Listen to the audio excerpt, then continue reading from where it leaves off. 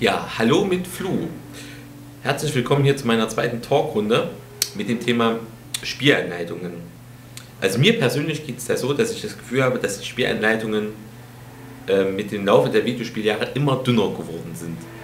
Also wenn ich mich da so zurückdenke an einige Spielanleitungen, wie dick die waren und wie schwer dadurch die Spielanleitung war. Ich erinnere mich zum Beispiel an Grandia, die Beschreibung, ja gut, die war englisch-deutsch, hm, äh, wahrscheinlich deswegen auch geschuldet, aber die war selbst der rein deutsche Teil, der war so dick, da wurde alles erklärt, da gab es eine Charakterbeschreibung, es war äh, die ersten zwei Dungeons waren ähm, aufgezeichnet und noch mit ganz viel anderen Text dazu. Natürlich war das für seiner Zeit ja relativ komplex, ähm, aber trotzdem, das war halt irgendwas, was man in der Hand hatte, was man rumblättern konnte, was mittlerweile total zerfleddert da drin liegt, aber ist ja auch egal.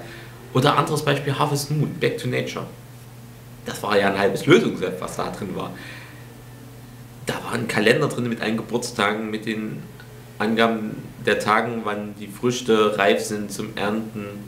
Ähm, und dann halt was, worauf du bei den Mädchen achten musstest. Das war so viel erklärt und so viel beschrieben, sodass du ähm, auf jeden Fall einen sehr guten Einstieg hattest, gerade äh, bei so einem Spiel. Ja, und heutzutage, weiß ich nicht, da sind vielleicht fünf Seiten drin, da ist eine Steuerung drin, dann hast du noch hinten zwei Seiten, wo äh, dir Notizen machen kannst und dann die ersten zwei Seiten sind dann, wie, wie du die Konsole richtig einschaltest und ausschaltest. Hm. Ja, finde ich jetzt nicht so gut. Ähm, natürlich gibt es auch, äh, ist es nicht bei jedem Spiel so, es gibt da andere Spiele, die da auch äh, sehr viel Inhalt zum Blättern haben. Aber trotzdem, aber trotzdem denke ich, geht der Trend dahin, dass diese Dinge immer dünner werden. Ich habe mal eine F-Zero-Beschreibung gesehen Spielanleitung. Da war ja hinten ein halbes Comicbuch drin, ja. Hat man heute gar nicht mehr.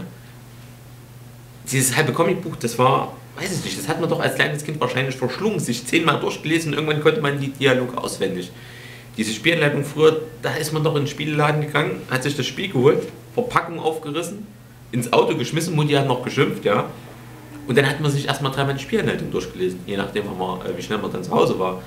Aber das war doch, oh, da, das war so der erste Einblick, wo man sagt, oh ja, cool, das wird ein cooles Spiel, jawohl.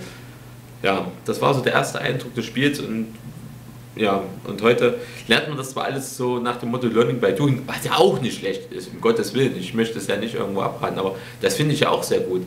Aber trotzdem würde es mich freuen, wenn man mal so das ein oder andere halt dann auch mal nachlesen könnte, gerade wenn man jetzt zum Beispiel ein Spiel spielt, das längere Zeit nicht mehr gespielt hat und dann irgendwo mittendrin anfängt und dann eigentlich keine Ahnung mehr hat, wie das eigentlich noch funktioniert. Ja, das ist halt ein bisschen schade. Ähm, nichtsdestotrotz finde ich das äh, nicht gut, dass sich die Spielanleitungen immer, dass die immer dünner werden. Was meint ihr denn dazu? Schreibt es gerne in die Kommentare und dann diskutieren wir ein, ein bisschen drüber. Und dann sage ich bis zum nächsten Mal. Tschüss!